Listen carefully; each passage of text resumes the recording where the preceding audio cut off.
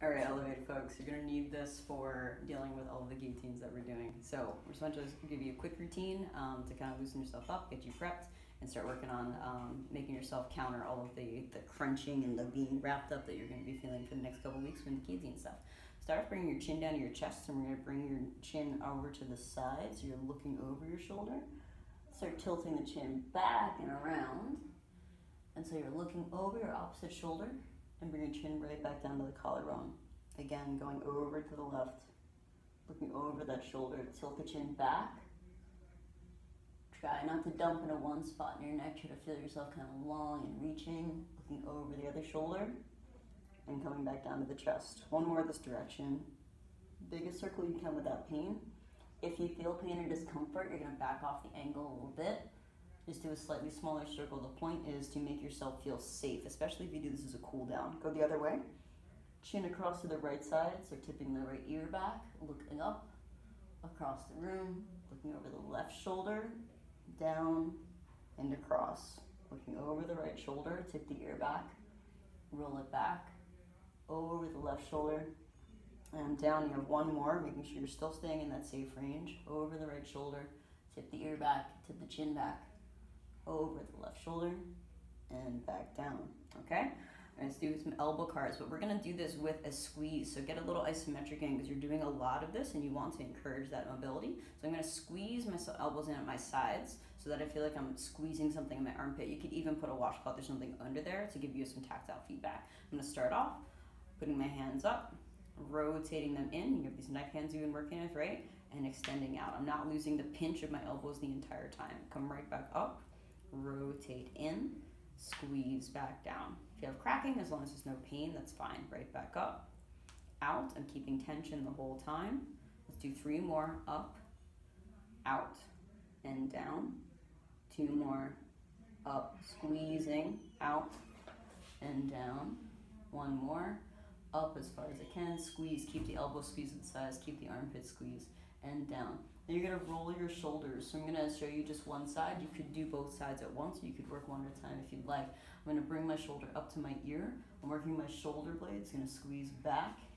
Then I'm gonna squeeze it down in my back pocket and forwards. I'm gonna try not to make my neck do things. All the way up. Squeeze it back. Squeeze it down. You notice how my arm isn't swinging a whole lot? And bring it forwards. I'm like a choo-choo train here where I have the fixed point and the wheel is moving. All the way up reach back and down. One more, all the way forwards.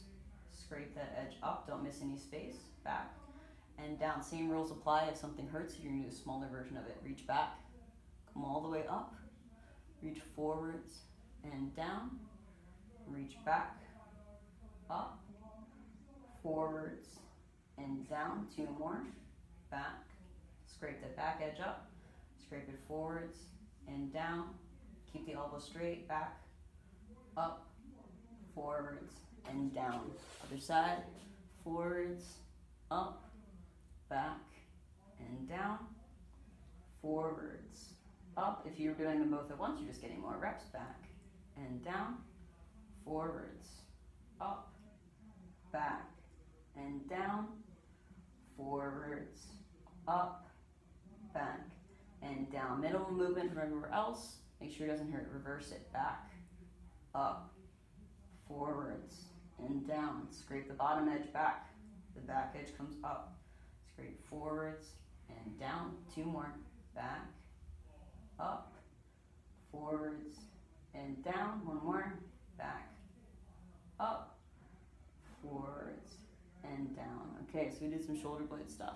I'm gonna get a little into um, uh, one more shoulder thing, just and one spine thing, and then our wrists, okay? And that'll cover you for probably majority of things that you need to worry about. So for the shoulders, you're gonna do this. I'm gonna reach back and just do a couple of five second isometrics here. I'm gonna start off reaching my hands back and down, and as if I'm trying to bring my hands, my palms together behind my back. So I'm going squeeze, holding for five, four, three, two, one. One more time there. Squeeze, five, four, three, two, one. Go a little higher, squeeze. Five, four, three, two, one. Five, four, three, two, one. If you can go higher, go higher. If you need to reverse it and come this way, put the palms, the back of the hands coming together, you can. I'm gonna try to go more extension, reach back. Five, four, three, two, one, and five, four, three, two, one. Hold it here and do some axial rotations. So I'm continually reaching my hands towards each other and I'm rotating the joint in the socket. I'm getting a little elbow rotation, wrist rotation, and I want to make sure my shoulders are also rotating, okay? Good. So you can roll that out a little bit. You spent all this time crunched up. We just wanted to open all of it up a little bit. For your spine, just going to cross your arms, squeeze your butt to keep yourself in place down here. I'm to roll myself down. Notice I'm not just bending forward the hips. I'm trying to roll and elongate my spine. Twist to the left. You're to side bend to the left, so you're opening up the right rib cage. Try to keep yourself steady so you're moving from up here. You're gonna need this motion, right? When we're doing our guillotines. Here, I'm gonna dip myself back and around. Again, I'm trying to feel multiple parts of my back. Don't just dump into your low back. Up and over, twisting to the right, side bend to the right, come forwards. Twisting left, side bend left, rolling through the upper back, twisting right, side bend right. My elbow is coming through my hip and forwards. One more time. Twist left, open, around, and twist, down. Reverse, twist right, side bend right, open, roll through the upper back to keep squeezing the butt. Twist left, side bend left, and down. Give you one more view. Twist right, side bend right, rolling through the upper back twisting left, side bend left, and come down, last one, twist right, side bend right, just keep squeezing the butt, roll through the upper back, twist left, side bend left, arching the back through, okay? Last thing to help improve your J hook, so you're gonna go into this position with a fist. You could also hold on to something if you wanted to. Um, and I'm gonna put my hand here just like we're playing with the J hook, right? Or instead of being like this, I'm just gonna block this way because it's easier in this position. I'm going to press against my hand here for a light tension PAILs. Hopefully you're feeling a stretch on this side. If you feel a block on this side, we need to do some mobilizations for you, okay? You can come in and talk to me about that or see a chiropractor. All right, so I'm going to just create a block, press up into my hand for five seconds. So I'm lifting into my hand, just light tension for three, two, one, then I'm going to try to go deeper into it.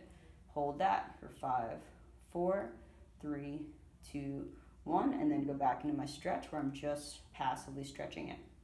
Okay, make sure you have some power, you don't feel any pain. You're going to press back up into your hand and go five, four, three, two, one. Pull it down, five, four, three, two, one, and stretch for a few seconds. And one more time, press up.